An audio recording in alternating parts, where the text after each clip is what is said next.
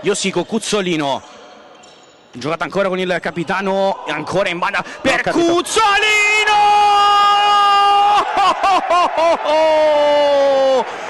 Un pallonetto meraviglioso da campione del mondo di Leo Cuzzolino su una grandissima palla in profondità ha attaccato lo spazio che giocata del 7 3 a 2